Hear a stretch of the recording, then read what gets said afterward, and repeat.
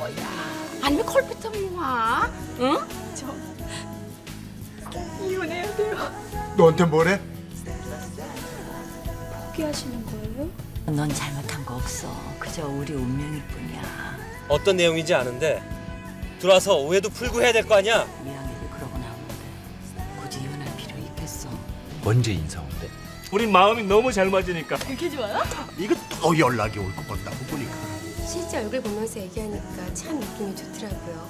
백희원 씨 마음 상태 제가 잘 알아요.